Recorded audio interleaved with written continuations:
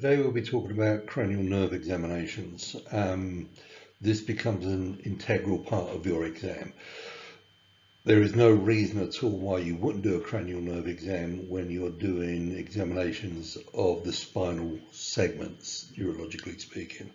So this is just an extension of the spinal cord into the head. So anybody with headaches, dizziness, um, upper neck pain, um, doesn't really matter. Anything that's in that area, um, there's no good reason not to do a cranial nerve exam. The fact is that the more frequently you do this, the easier it becomes, much like everything else. And you should be able to get this exam done when it's not complicated by pathology. You should be able to get it done in under 90 seconds.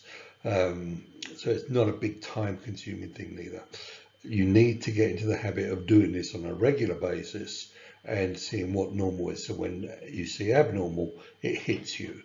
Um, you can't learn all of the abnormalities to the point where you can instantly recognize them, but you can recognize when something isn't normal if you look at it sufficiently often. No, this isn't about neuroanatomy. Um, I expect you to know this stuff. It's background material you learned in school. Um, if you're unsure of it, go review it. Um, but the way to look at cranial nerves is to think about the brainstem and the hindbrain as an extension of the spinal cord, which of course is actually the spinal cord, an extension of this, I assume. Anyway, think of the, uh, the brainstem and the hindbrain as an extension of the spinal cord, and you see the same things happening. So let's take C4. If I have a complete um, cut right through C4, and it's going through the C4 segment, what you'll see there is everything above that, at least for a while, will be normal. Um, there'll be no changes in the function of any of the neurological systems above C4. Below C4, you're going to see an upper motor neuron issue, um, along with sensory loss and all the rest of this stuff, but it's predominantly it's going to be lower motor neuron. Uh, sorry, upper motor neuron. At C4, though, if you test that segment, it will be lower motor neuron. So you've got the same thing with the cranial nerves, except the name changes a little bit. So we have supranuclear, infranuclear, and intranuclear lesions. Um, but the same thing happens. It's supranuclear. Everything below that level is going to be um, upper motor. Everything above it is going to be normal. Um, if it's intranuclear, it, everything um, at that, that cranial nerve is going to be lower motor. So you see the same patterns of dysfunction, whether you're looking at a spinal segment or a um, cranial nerve. Um, so this is not that difficult. Okay, and I know it's esoteric. And the reason I think that we have problems with this is because cranial nerves are taught in the neurological um, area of physical therapy school, and probably it shouldn't be. Um, a neuro, neurotherapist seeing the patient um, has a diagnosis basically handed to her um, or him, and um, what they're looking for now is basically assessing functional loss and how to recover that. Uh, but the diagnosis is generally made. So a cranial nerve exam for a physical therapist um, is probably less important than it is for a manual therapist because we need to know that the neurovascular system in a patient that we're going to possibly manipulate the neck is working as well as it can. Um, now, finding a negative cranial nerve exam doesn't mean to say you can't do damage with your technique, but at the very least, you'll be able to re-examine the cranial nerves and see if you have done any damage. So this is a really important part of your job as a manual therapist um, and don't shortcut it. Just because this was underemphasized in manual therapy in school doesn't mean to say it should be underemphasized in practice. Okay, for the more observant view, yes, I've changed my shirt. Um, actually, it's a whole new day. Um, okay, so symptoms are where you always start with the neurological exam. Um, and these are a bit more mm, multi, multiple than they are in the spine. So let's get going on. Cranial nerve 1, um, anosmia or parosmia. Anosmia, where you can't smell at all, is unusual, Generally, particularly if this is um, a single-sided problem, unilateral problem, um, in which case they don't know they have anosmia. um, because they're smelling through the other side. Um, but parosmia is a deformity of smell. So this is the equivalent of paresthesia or tinnitus with hearing loss. It's a, it's a replacement um, sensation for denervation. Um, this can take the form of burnt toast, cedar chips, all of the traditional ones. Um, and this will, they can smell this whether it's unilateral or bilateral. Uh, hemianopia or quadranopia. It's amazing, but you can lose half of your visual field. Provided it's the lateral field, not the medial field, you can lose half of your um, field of view and not know about it. And that's because uh, to see over to the left of me now, I would actually turn my head to the left. So that blind spot will move with me. So the patient may not be aware of this. Uh, could be hemianopia or quadranopia, depending on the size of the lesion. Sometimes you'll get denervation sensation again here in the form of scintillations, flashing lights, and they exist in the blind spot. Um, so if the patient is giving that um, descriptor, then it probably is um, hemianopia or quadranopia, and then you can test them. Oh, you test them anyway. Uh, I can remember I was teaching a class in um, Calgary at home, and I went home at the end of the, the class day, sat down, I didn't feel great, I felt a bit oozy and woozy, and um, I went to get on the phone and there was something wrong with my vision. Like I knew there was something wrong with it, but I didn't know what it was. Anyway, I tested me and filled out, and I'd lost the lateral vision out of my left eye, pretty much completely. And, and the right eye I screwed up testing anyway, but I'd completely gone blind and I didn't know about it until I actually tested for it. Um, it turned out that this was my first attack of um, atypical migraine where there was no headache. At least that's what I like to believe. it was some years ago and it hasn't killed me yet, so I think I'm probably right. Okay, so three, four, and six all have the same stuff except three. Now, three also has a dilated pupil, mydriasis.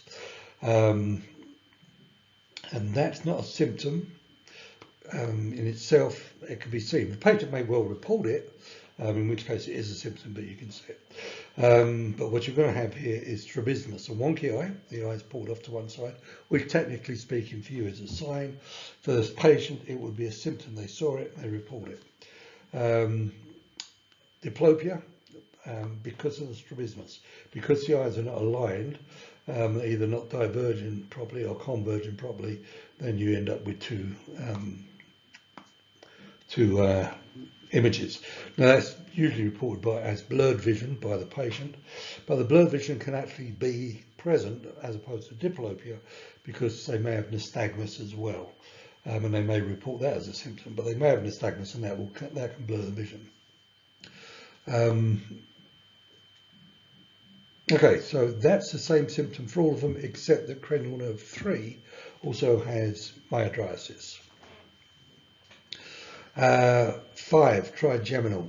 Um, it's the it's responsible for all of the non-spectral sensation in all of the head and a good way down the neck. So this goes down to at least three and possibly lower. Um, so what you're going to see there is either patchy um, parasthetic areas, uh, which is actually fairly common, you know, a little patch here, or it can be the whole hemiface or a quarter of the face or a third of the face. Um, but if this is central, it's not going to be broken up into the nice three branches of the trigeminal nerve. So it's often patchy, but it may cover the whole half of the face. You can also get it where it's around the lips, there, perioral numbness, and it's bilateral, even though the lesion may be unilateral. Um, and this is a quirk of the um, of a nerve that reaches the cortex and from the, the um, trigeminal nucleus, and it does innervate bilaterally. Um, at least that's what's believed. But perioral numbness is either caused by VBI or it's caused by panic attacks and hyperventilation. If um, you want to get rid of the idea it's hyperventilation, ask the patient if they are hyperventilating or panicking when this is happening. Um, it also supplies the tongue for taste and also for um, tactile and pain sensation. So paresthesia in the tongue, um, but also dis, uh, not for taste, sorry. Um, but that loss of sensation can also give you dysgeusia. And you've probably had that sensation when you've been at the dentist and they've given you a local anaesthetic and you're left with that metal taste in your mouth. That's dysgeusia. Um, then eight, cochlear portion, deafness, loss of hearing, hypoacusia, and more likely tinnitus. Um, unless the onset of deafness is very sudden and very profound, the patient won't notice it. The spouse might, but they won't. Um, but tinnitus is something that you, that they will get. And it, this could be high frequency or low frequency tinnitus. And tinnitus tends to be um, high frequency when there's a central um, problem involved. Eight, uh, vestibular, the vestibular portion of the eighth nerve.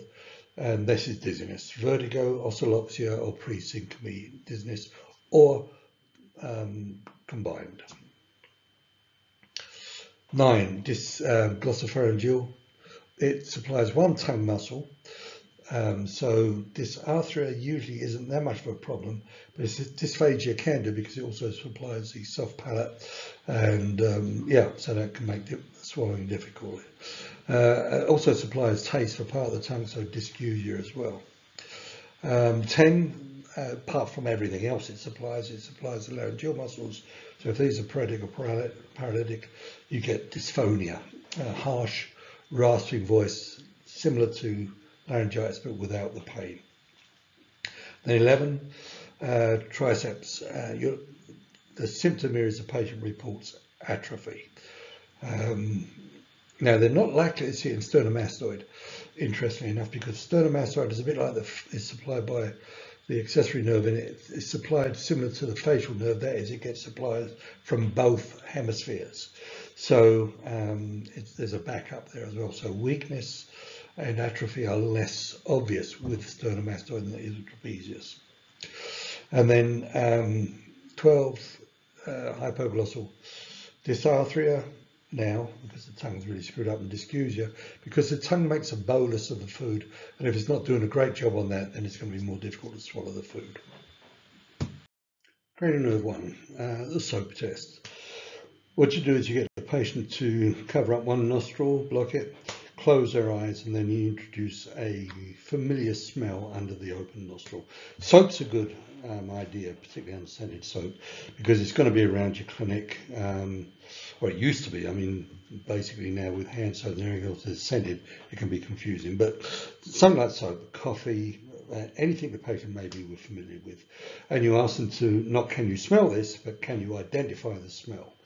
They say yes or no, you take it away and cover up the other, don't let them see it, cover up the other nostril, tell them you're going to give them a different smell now um, but give them the same smell. You're not under oath or anything, so lying's okay. And then I, again, ask them if, what the smell is. Um, if you ask them if they can smell it and they say yes, you're then stuck. Well, what is it? It sounds like you don't believe them. So what is this smell? Okay. And you're looking obviously for them not to be able to smell the smell. The problem with this is um, at any given time, most of us are walking around with one nostril blocked up and the other one open and they switch. So if it's really blocked up because of an infection or something like that, you're going to run into trouble. But unilateral blockage that's strong enough to stop you smelling a familiar smell is um, going to be because they're completely blocked up and that's going to be obvious before you even start the testing. Okay, this is a confrontation test for field of view. Now you'll often see this test being done coming from behind the patient this way. The problem is um, you've got no control over the patient's eyes. From the front you can see their eyes and what's happening. So um, have them look at your nose. You want about 18 inches or so, two feet between you. And you want to introduce a target. Um, now she's using her finger. Um, but you want something that's going to clash with the background so it's quite easily seeable. Uh, so oranges work um, and they stay the same shape whichever way your hands are. So um, these are introduced, it has to be introduced halfway between you and the patient. If they're held further away from the patient, closer to you, this is going to fall well within the patient's um, cone of vision, and they're going to be able to see it regardless of how way you stretch your arms up. You, on the other hand, won't see them because they're closer to um, where the cone is narrow in you. So halfway between you, and level with your eyes to start with anyway, and have your eyes level with each other. Um, you then, um, now she's doing this properly. Um, what you get the patient to do is, in this case, they cover up one eye. Uh, you cover up the opposite eye. Now, this is opposite, opposite, not op if this uh, cover up, she's actually covering up the right eye, the patient is, and the, the doctor is covering up the left eye. And then you introduce targets, either from the blind side, as on the right image, or from the open side on the left. So when you're coming from the blind side, you're testing the medial uh, field of view of the left eye. And when you're coming in from the open side, you're testing the lateral field of view of the open eye. Um, and then the, the, standard is to make a figure H, if you can take the whole thing. Um, sorry, you introduce, my fault, you introduce it at basically two o'clock, three o'clock, four o'clock, or one, three, and five. Um, and you ask them when they see it. So basically, you're looking at to match when you see it. So this is why you need your eyes level. And then you, if they can't see it, then you map out the area that they can't see. And then you switch sides and do it again. Now this is the, probably the most precise way of doing it. The other way of doing this though, is you'd use the cover up eye stuff when you're doing the medial view, but when you're doing the lateral view, you test both eyes at the same time and bring your hands in. There's my other hand gone? There. So you bring both hands in um, until they can see them.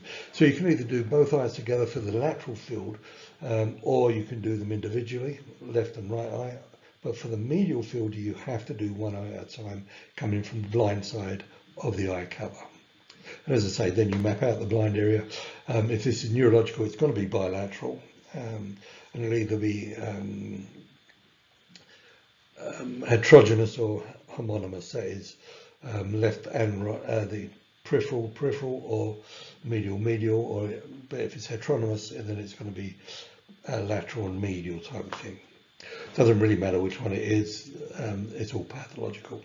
If it's a single eye problem, then you're either looking at, ret well, you are looking at a retinal problem and an optic nerve problem rather than problems beyond the chiasm where the two nerves cross over.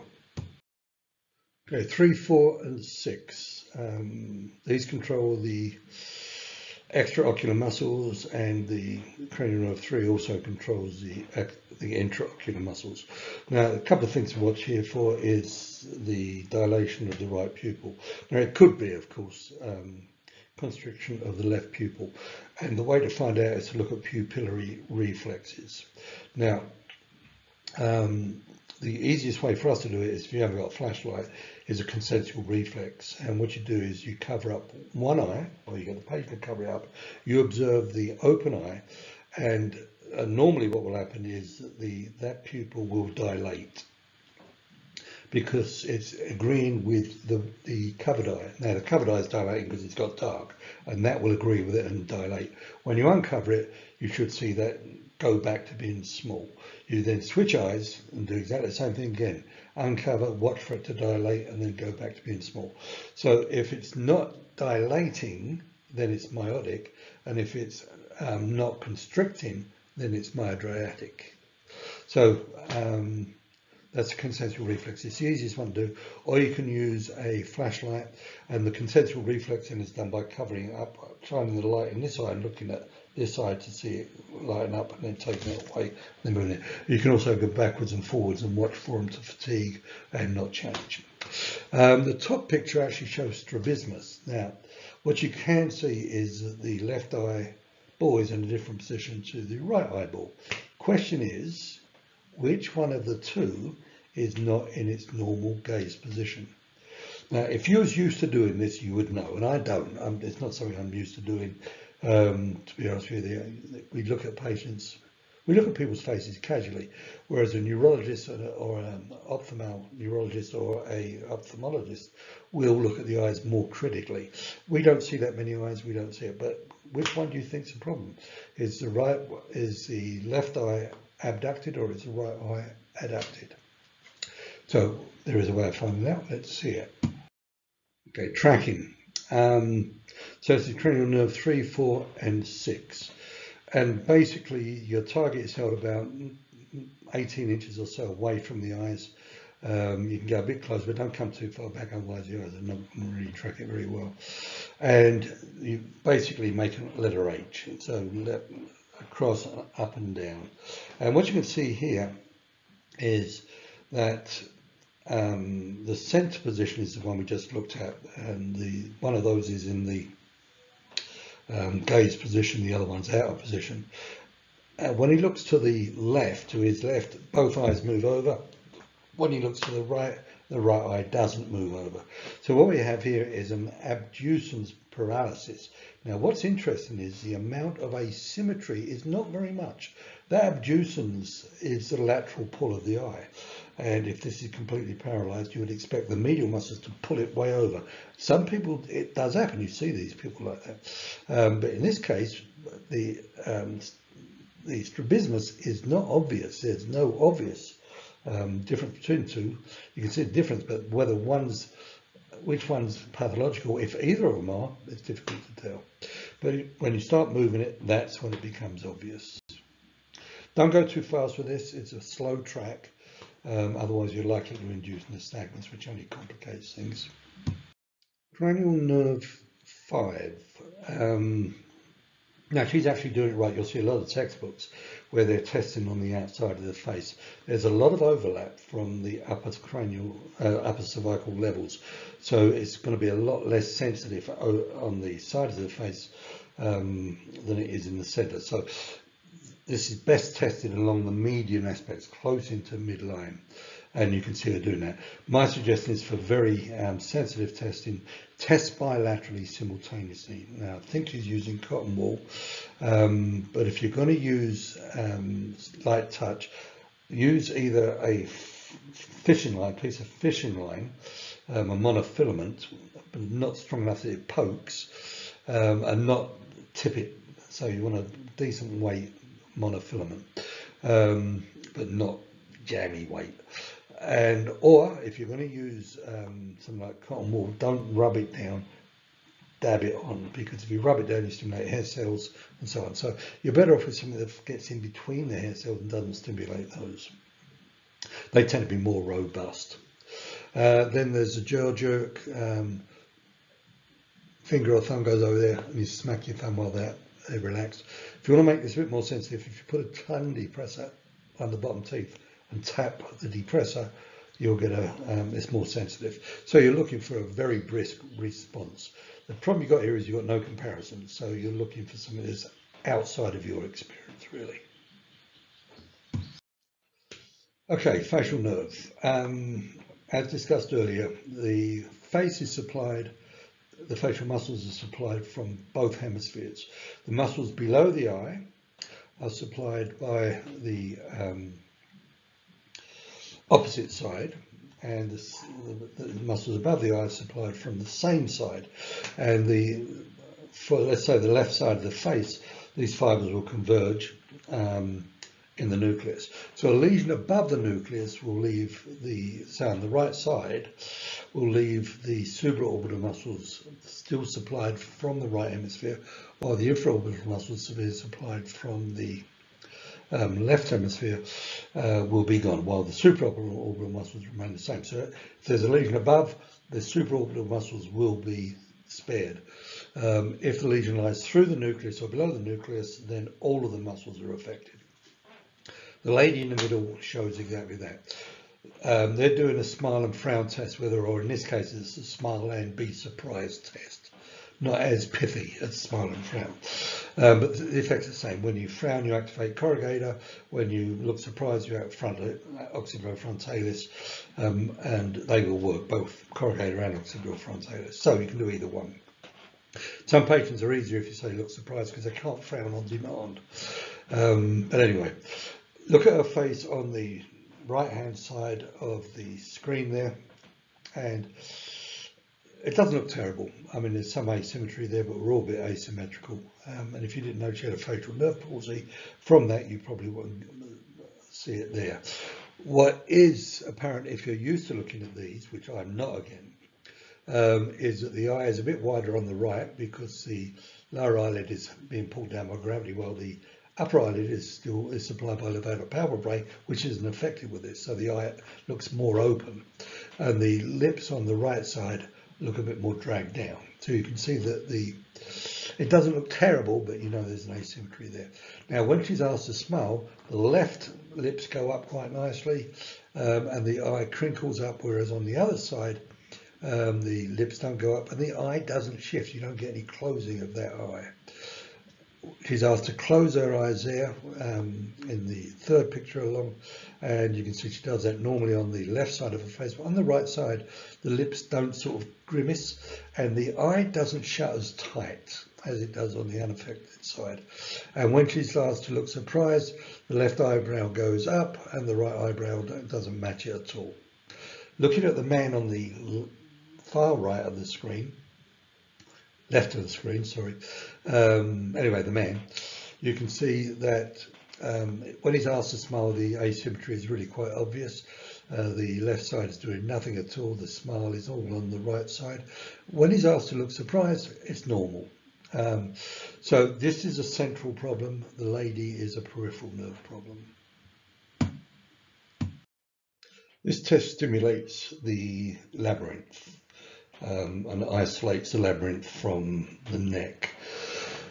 So what happens then will depend not just on the labyrinth though, but on the neurological connections and the neurophysiological interplay between the eyes, the um, lack of proprioception coming in from the neck, uh, the neurovascular system and so on.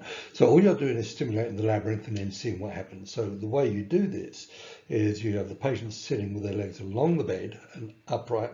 You grab hold of them by the back of the head and um, by the forehead, by the back, by their back and their forehead, and you tilt them backwards and forwards uh, large amplitude movements and then side to side and you can even go in circles with it.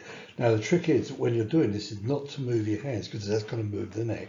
So you move your body. So your body's up against theirs and you move forwards, backwards and sideways and you stimulate the um, labyrinth. And normally what will happen is nothing. Patient will tolerate this quite happily. If on the other hand there is a vestibular disturbance, and when I say vestibular I mean a balance disturbance in the system, you are likely to get um, dizziness. Now, if the labyrinth is at fault, you're almost certainly going to get vertigo. If another part of the system is at fault, or if this is a neurophysiological problem, then you may get type 2 dizziness rather than type 1 dizziness or vertigo. And that's the test. Uh, you can observe the eyes from the nystagmus. You can do it with the eyes open or closed. Um, what I would do is if the patient is already complaining of um, ongoing dizziness when they move too much, is tip them with the eyes in whatever position they want. If that doesn't make him dizzy, then have him do the opposite, either open or close them, and then do it again, and one or the other is likely to make him dizzy. So this is it. Stimulate the labyrinth, see what happens. Okay, so we're looking for deafness now. Um, you can use tuning forks for this. Um, so the first one is Weber's test, and basically you have a tuning fork. Usually 128 is a sort of um, a nice mixture of fairly high frequency, but still vibrating enough for it to make itself known. So 128 um, is a pretty good frequency with this. Anything higher than that, you won't get enough vibration, and it makes it more difficult. Um, so you either put it in the middle of the forehead, which I've done there, or you can put it on top of the head, but midline. Now, they should hear it equally on both sides. So they hear it in the middle and spreading out, and they may hear it in both ears, but they hear it on both sides equally. If they're deaf in one ear, they will hear it better in one ear. Um, now, it depends on the type of deafness as to which ear they hear it in. If you are neurologically deaf, um, then all forms of hearing are blocked. If you have conduction deafness, then air conduction hearing is blocked, but bone conduction is actually enhanced. Um, I have no idea why that would be, but it is. So which ear is deaf depends on which uh, which ear is whether the deaf ear is neurological or conduction deafness. You can't really tell from this. All you can say is one ear is deafer than the other one um, by bone conduction. So you have to find out which ear is the deafer of the two. So Weber's test isn't very good for doing that. Um, test does it better, but it's fiddly. So Rinne's test, you get the um, the tuning fork vibrating, you put the stem against the mastoid, and you ask the patient when they no longer hear the or feel the vibrations, um, and they'll take it as here. So don't vibrate too hard because you can be there 15 minutes waiting for these things to run down. So fairly light, touch it on there, and as soon as they say they can't hear it anymore, you switch it and make them to the times against here and ask them if they can still hear it. Now they should do. If the ear is normal, then they will hear um, air conduction after bone conduction stopped. If they still hear, if they uh, if they cannot hear the times vibrating by air conduction, then they're deaf in that ear. And then Weber's test will tell you whether it's neurological or whether it's not. So the way Weber's test now works is um, if I'm deaf, I'm deaf. If I've got neurological deafness, it doesn't matter whether the sound gets to me by air conduction or bone conduction, that is deaf that ear. So if I put the um, tuning fork center line and they hear it in the ear that was found to be deaf with Rinne's test, they can hear. So that is not neurological, that's bone conduction hearing. That's a conduction loss, an air conduction hearing loss. If they hear it in the good ear though, then that deaf ear is neurological deafness, sensory neural hypoacusia. Now you can do it a different way, no tuning forks. So this is the finger rustle and Hum test. So basically you make very, very minor sounds by their ears.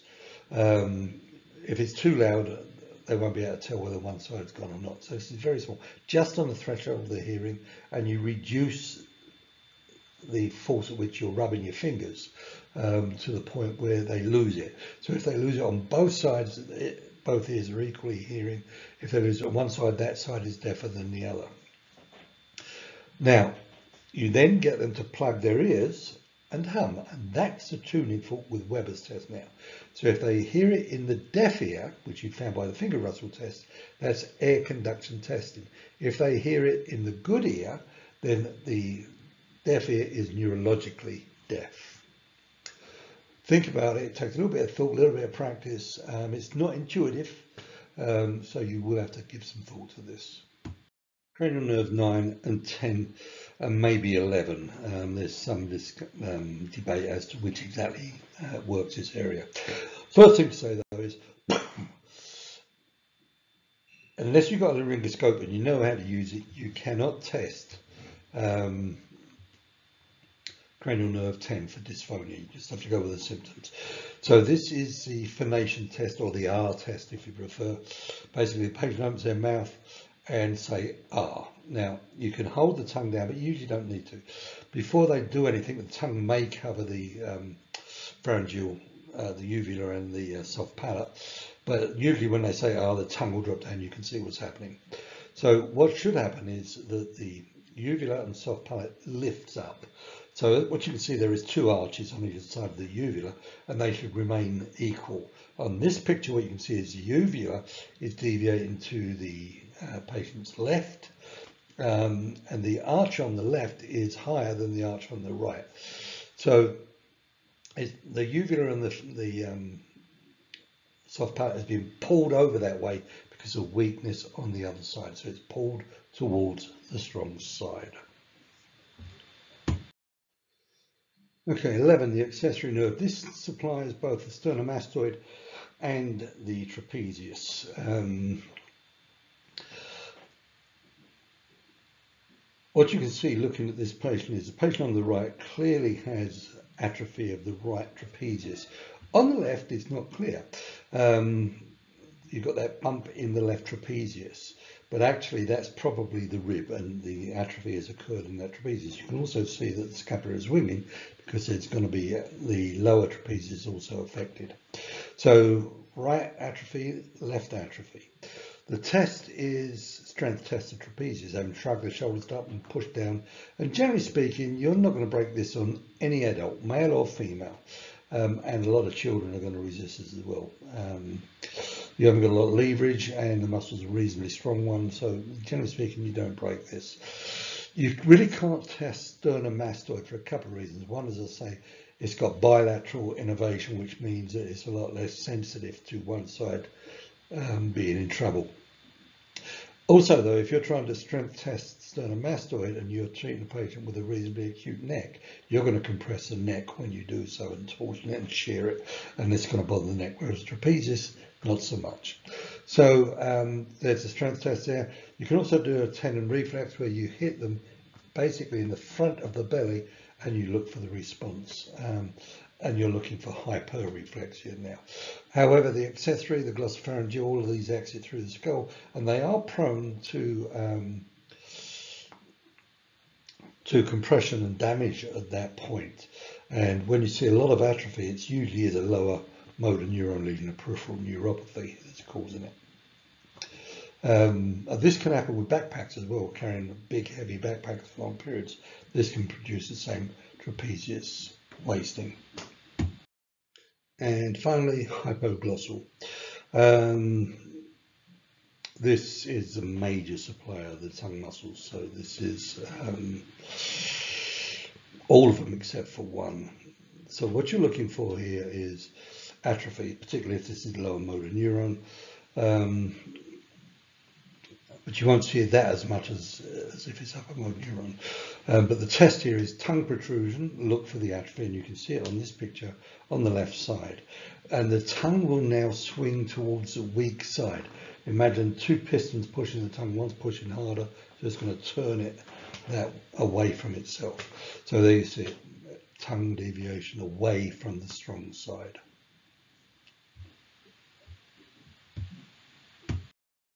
There you have it, cranial nerve test. Um, try to forget the mnemonic, all right? Mnemonics are memory aids, they're not learning aids.